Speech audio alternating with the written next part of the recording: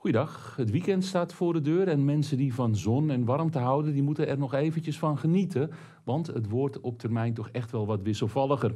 Ja, de dagen die beginnen prachtig. Dit is ook zo'n mooie foto waar ik goed naar moest kijken, want ik dacht eerst van ik word in de maling genomen, want hier ligt ijs en wat sporen erop. Maar dat is natuurlijk niet zo. Het is een rimpeloos wateroppervlak omdat het windstil is en de hoge bewolking die reflecteert in het water. Mooie zonsopkomst en dat gaan we dit weekend ook wel weer krijgen.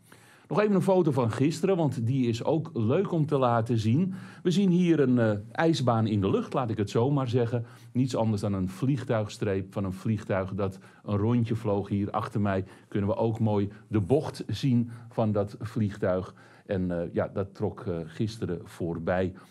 Sluierbewolking, daar hebben we ook wel dit weekend mee te maken. Vooral zondag wordt de bewolking geleidelijk aan ook wat dikker. En ook op zaterdag komen er van dat soort wolkensluis voorbij. We pakken de weerkaarten op in de nacht van vrijdag op zaterdag.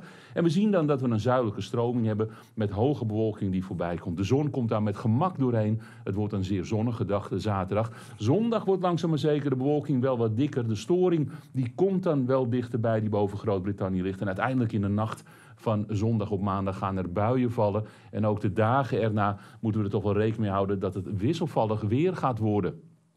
Maar voor zaterdag is daar geen sprake van. Heel rustig weer, dunne wolkensluiers, veel zon en temperaturen die rond de zomerse waarde van 25 graden liggen. 23, 24 graden in het noorden. In het zuiden van het land kan het wel 25 of 26 graden worden. Er staat heel weinig wind.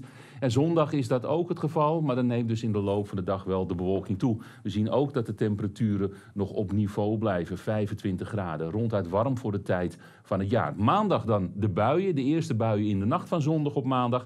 Maar ook maandag overdag gaan de buien vallen. En vanaf dinsdag is het dan echt een stuk wisselvalliger. Dan komt er een westcirculatie op gang. En die brengt van tijd tot tijd storingen vanaf de oceaan richting ons land. Dat betekent veel lagere temperaturen, veel meer bewolking en dus ook van tijd tot tijd neerslag. Fijn weekend.